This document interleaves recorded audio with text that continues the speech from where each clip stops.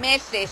Entonces hoy prácticamente sería el último día hábil que tienen las personas que no han recogido su DPI en las sedes departamentales para poder traerlos y no serán trasladados precisamente a esta sede que abre alrededor de las 8 de la mañana y cierra entre las 5 de la tarde. Esto debido a que el RENAP ha tomado la decisión, pues llevaban, como les mencionaba, unos tres meses sin haber sido pues, precisamente traídos por las personas que tenían que recoger su DPI, a pesar de que estos pues ya estaban listos. Es importante destacar que esto, pues a partir de ese momento, podría haber mayor aglomeración de personas en el RENAP de la sede departamental que ya empiecen desde los departamentos a traer aquí su DPI. Ese es un recordatorio que queremos darle a las personas precisamente en los departamentos para que pues se recuerden que hoy pueden ir a traer todavía en las sedes departamentales su DPI. Con esta información regresamos al estudio. Bueno, gracias por las noticias. Entonces, tiene que ver entonces con este trámite para que usted lo tome en cuenta en este día, ¿verdad? Ahí tenemos, y tenemos más información de nuestro país. El Quetzalteco.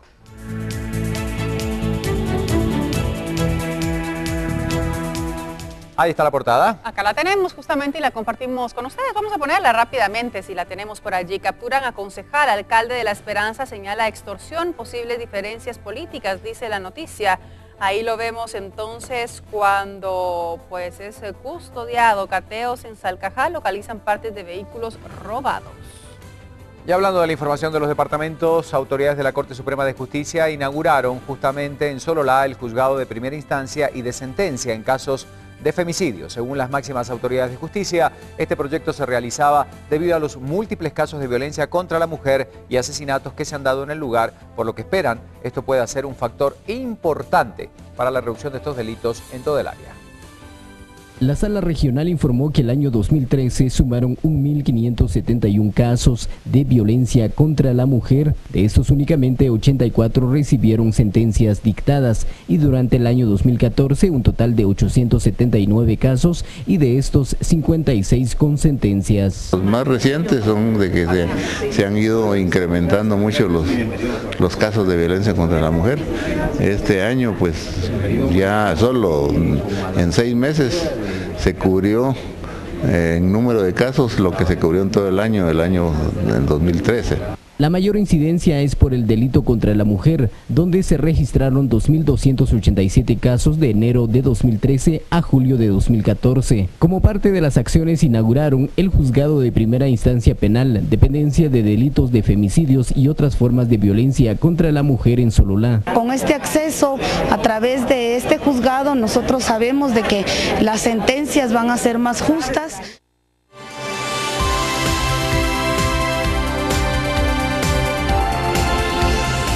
Y empezamos ya con el recorrido por distintos lugares del mundo también. Vamos con Alejandro esta información internacional.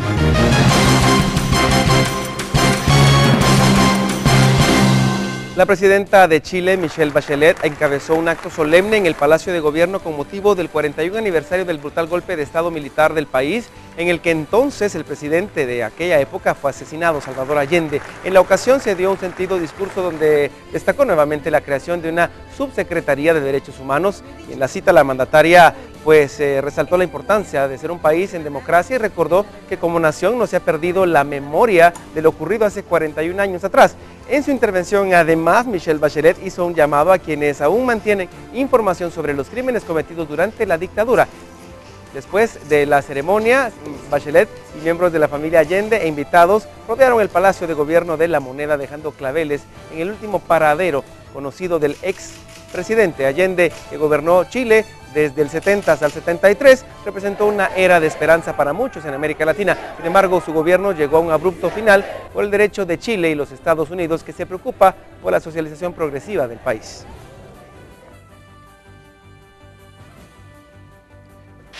Diez países árabes con Arabia Saudí a la cabeza se han comprometido a colaborar con Estados Unidos para la lucha contra el Estado Islámico. El anuncio se hizo público tras la reunión de ministros de Exteriores con el secretario de Estado norteamericano John Kerry en la capital de verano del Reino del Desierto. La monarquía saudí clave en cualquier intento de erradicar el yihadismo, ha aceptado albergar en su territorio bases de entrenamiento para los rebeldes sirios moderados. A la reunión con Kerry en Jeddah acudieron además del príncipe Saud al Faisal, anfitrión de la cita, los ministros de Exteriores de Kuwait, Qatar, Bahrein, Oman, Irak, Egipto, Jordania, Líbano y Turquía. Este último siendo el único no árabe de los asistentes, ha precisado que no contempla permitir operaciones militares desde su territorio, pero que volcará la ayuda humanitaria.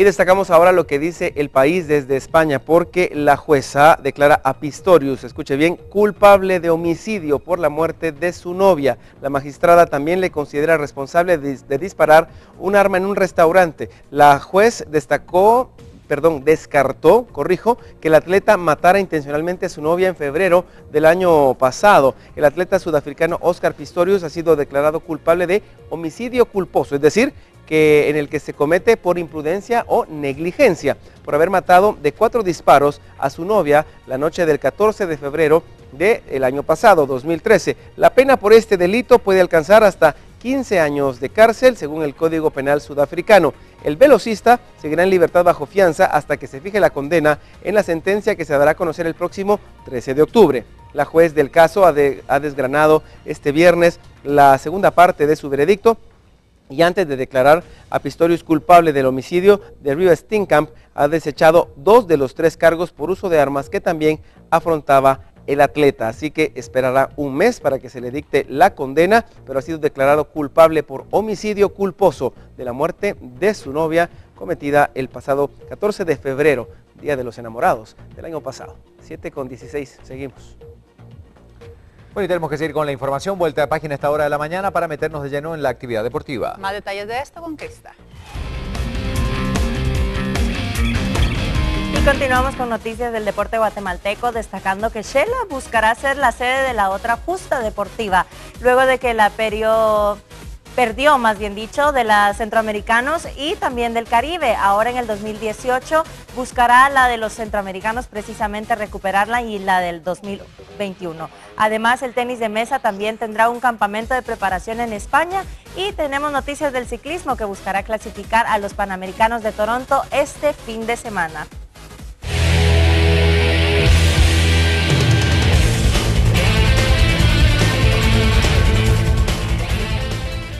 Shela vuelve a la lucha por organizar unas justas deportivas luego que esta semana se oficializara que buscarán obtener una sede ahora para los Juegos Centroamericanos del año 2021, luego que perdieran la de los Centroamericanos y el Caribe del 2018. La Comisión Pro Juegos Centroamericanos Quetzaltenango 2021 fue presentada en la Asamblea del Consejo Municipal de la Ciudad Altense y buscarán en conjunto alcanzar el objetivo, asimismo con los recursos para presentar la candidatura de forma oficial ante la ODECABE. Todo esto con el aval del Comité Olímpico Guatemalteco y la Confederación Deportiva Autónoma de Guatemala. La selección mayor de tenis de mesa de nuestro país viajó rumbo a Piego de Córdoba, España, donde realizarán un campamento de alto rendimiento previo a lo que será su participación en los Juegos Centroamericanos en el Caribe de Veracruz. El equipo guatemalteco está conformado por Kevin Soto, Héctor Gatica, Ever Moscoso, Mabelín Enríquez y Analdi López, quienes estarán en tierras ibéricas por espacio de dos meses. Allá se les unirá José Miguel Ramírez, quien juega profesionalmente y radica en España desde hace varios años en la liga profesional de ese país. La Selección Nacional de Ciclismo buscará su clasificación para los Juegos Panamericanos de Toronto en el evento panamericano que se realizará en Aguascalientes, México este fin de semana. 18 pedalistas, entre ellos los juveniles que participaron en Nanjing, además de los experimentados en pruebas dominicales, son parte de la delegación que competirá en las disciplinas de persecución por equipos en ambas ramas, velocidad por equipos, Omnium, velocidad individual, Keirin, Scratch, carrera por equipos, persecución individual, asimismo un kilómetro y 500 metros contra reloj. En cada prueba se disputarán entre 4 y 5 boletos para panamericanos. 20 países de la buscarán una de las 91 plazas disponibles para estos juegos. Esto fue lo más relevante del deporte nacional. Para Viva la Mañana, Luis López.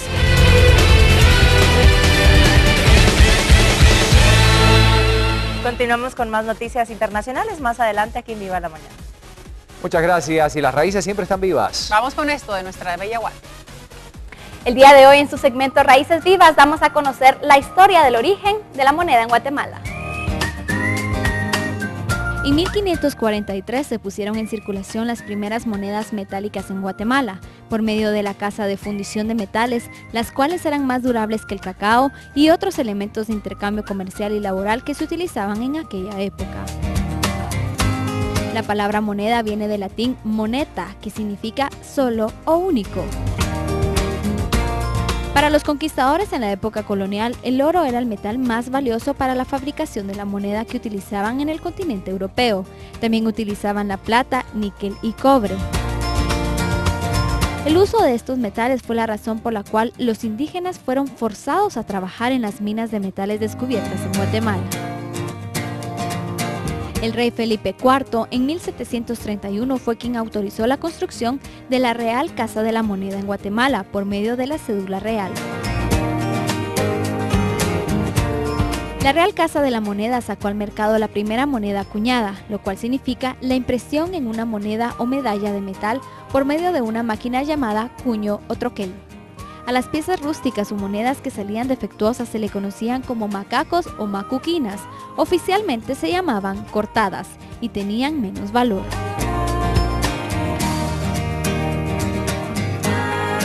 En la época de las Provincias Unidas de Centroamérica, alrededor de 1824, las monedas que circulaban eran fabricadas en Guatemala, cual era el único país con la capacidad para producirlas.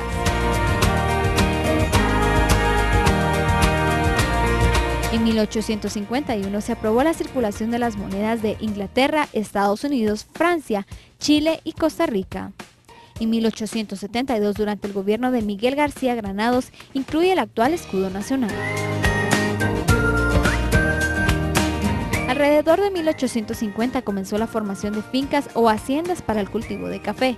Muchos extranjeros se apropiaron de grandes territorios a los cuales llamaron fincas, en donde los propietarios producían su propia moneda a la que llamaban ficha de finca.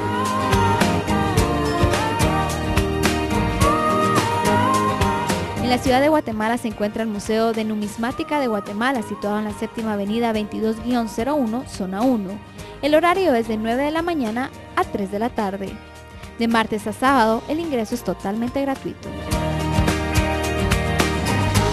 La moneda en Guatemala y su historia forman parte de nuestras raíces vivas. 7 de la mañana con 22 minutos y hay que seguir con más información hasta ahora. El mundo del espectáculo. Vamos ya.